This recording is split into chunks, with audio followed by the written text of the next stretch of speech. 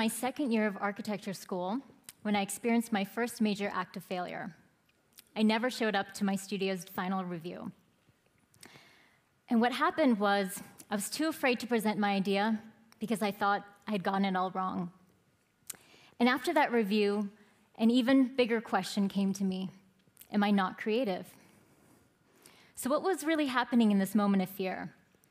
Well, two very distinct educational methodologies were colliding, and I was caught in that very rough transition. My public school education had indoctrinated a very systemized way of learning based on being rewarded for right answers and at all costs avoiding failure. This education was butting up against my studio based architectural education, which focused on studio based approach that was focused on exploration and learning by action.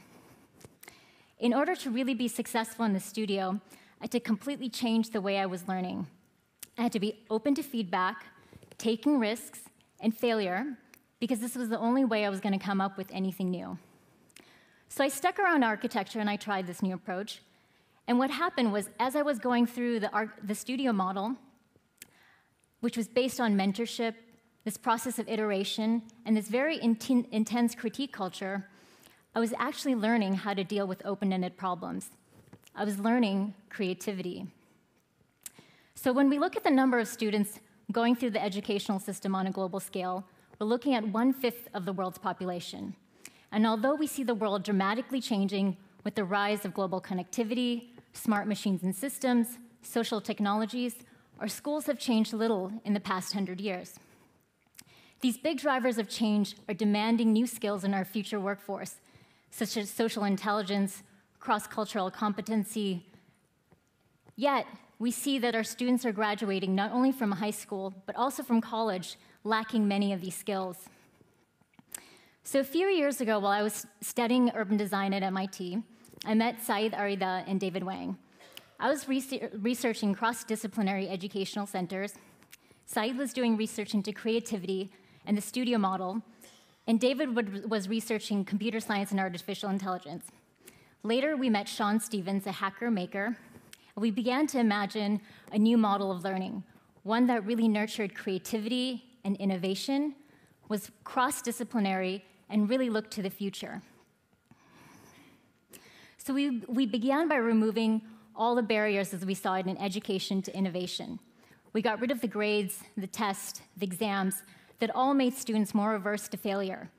And we're really focused on the skills of the future critical thinking, problem solving, adaptability, and really nurtured on curiosity and imagination.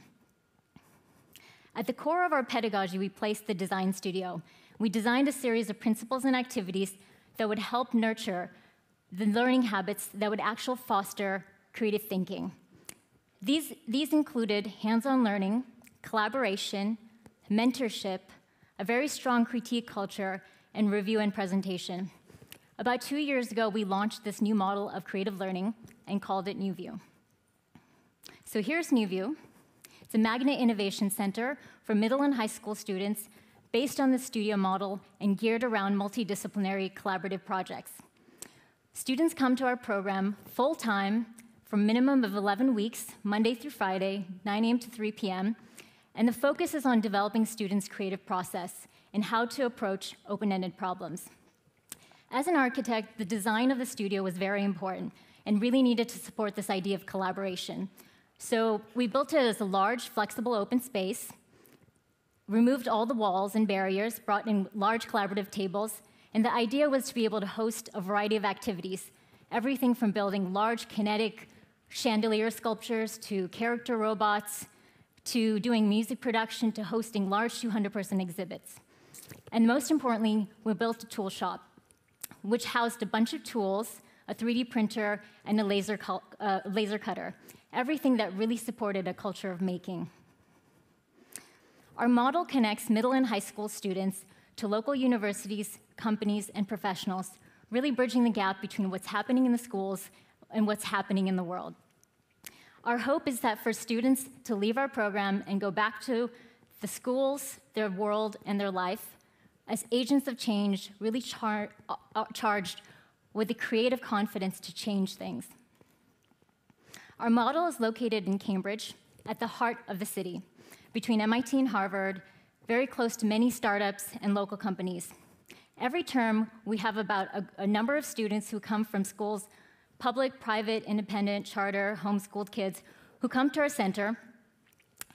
And it's this idea of mixing perspectives and bringing together a very diverse group of people with the hope that we bring together a group of creatives who can collectively think together and creatively share and learn. At the core of our model are the coaches. Every term, we curate a set of coaches who come from a variety of backgrounds. They're professionals, they're entrepreneurs, they're builders, inventors, musicians, makers, thinkers. We like to think of them as master tinkerers who really thrive on play and exploration. The basic building block of our model is the two week long studio module, where students work in small teams to come up with a project. The two week studio module is based on this idea of iteration, or the idea of prototyping, testing, analyzing, and basically creating a new product. At the heart of the studio is this process of critique, where a student presents their project and a coach gives them advice. The idea is to shift students' perspectives and really develop flexibility of, of mind. The, the idea is that by going through this critique process again and again, students begin to apply multiple perspectives and begin to refine their ideas again and again until it becomes a natural learning process. This two week studio module fits into our larger 11 week framework, where students go through a series of four two week long studios. And the idea is that this idea of iteration happens not only at the scale of the product, but also at the scale of the process as students refine their creative process by working with different teams on different projects. Each student's path through these various studios is unique. And the idea is that by shifting through these multiple studios, students begin to see the connections between various topics and fields, can apply their learning from one studio to the next, and really begin to see how ideas can exist in multiple arenas. Our idea of success really lies in the idea of seeing and doing. In this uh, studio called Cycling Solutions, students developed a pedal powered water, water filtration system. The amazing thing was that not that these students came up with a great idea and they actually came up with a really inventive mechanical solution, but that they worked on 15 different prototypes over two weeks to get to their final solution. These kids were really seeing differently. Our projects ranged from the very low tech to very high tech systems based solutions. In the iEnergy Studio, students built a distributed renewable energy system with, in collaboration with an energy company and a nonprofit. The fact is that when you give students very challenging projects, you believe in them, and you create a very supportive environment so they can test their ideas to the farthest limits, students will take on those challenges and excel. This past December, I took a group of our students to India to field test the social mobile collaborative learning games they had designed for slum youth living in India. This project was in collaboration with Sesame Workshop, the nonprofit end of Sesame Street, and involved work with developers in Sri Lanka and research teams across India. This project really showcased the power of global collaboration and the simple idea of kids designing games for kids. As an education entrepreneur and designer, I'm building NuVu with a very passionate team to develop the next generation of creative thinkers. Together, we hope the world will see learning a little differently. Thank you.